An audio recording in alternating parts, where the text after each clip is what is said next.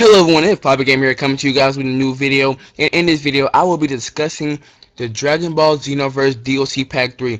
So, a lot of you guys most likely thought that DLC Pack 3 was probably going to be like the down point of the DLCs, but if you thought that, you are wrong. You are completely wrong if you thought that. Because most likely you thought we we're going to get like the leftovers from like Japan and all this stuff, but we're not. So, I'm going to start with what's in the left hand corner, the red text. It says, the latest DLC pack. DLC Pack 3 contains a lot of goodies from DBZ Resurrection of F. So, for Fukkatsu no F, Revival F, I don't really know what you guys want to call it, but I'm just going to call it what they call it. And it says, download this DLC to obtain Goku, Frieza, and even Vegeta's newest transformations. Or forms, I really don't know. Don't care. So, I'm going to go down to the bottom right by now. It says, number one, three playable characters.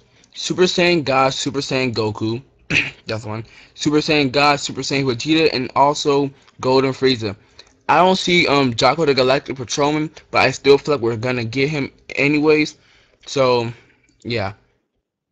And number two, which is like a high point for me, you get Jaco, and Jaco's a pretty cool character. If you ever read the manga, you like you will see he's pretty cool. I like him. I like his character. You also get Old Kai. Now, I'm not trying to soup up anybody's head or tell you guys any lies. I'm just saying this is what I think. Just like a speculation.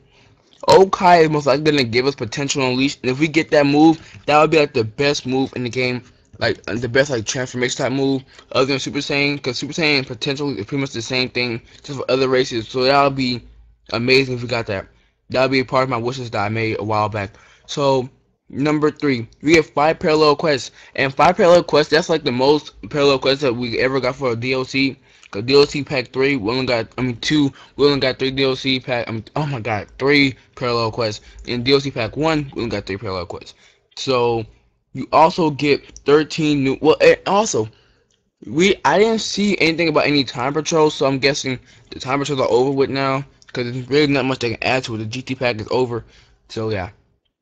You also get 13 new skills. And I feel like any new skill is a good skill. Pretty much. That's what I see. Also, number five, you get one new outfit. And this outfit is Gohan's tracksuit. So most likely, you guys seen this, you're like, what is Gohan doing wearing a tracksuit? You ever watch like the previews or um any screenshots? You see like, why he wearing a tracksuit? Well, I kind of understand now because he didn't have his gi ready. He seen a tracksuit, bang, grab it. I'm out. Finna go fight now. So yeah, that's pretty much why he has a tracksuit. So I kind of understand now. So also number six, you get one new accessory, which is Tagoma's Scouter. And I don't find his Scouter so cool. Like there's already like 15 Scouters in the game. they don't do much. They don't do anything else to make you look cooler. So if his Scouter boosts up your um basic attack by one, bang, I'm buying it. That'd be pretty cool.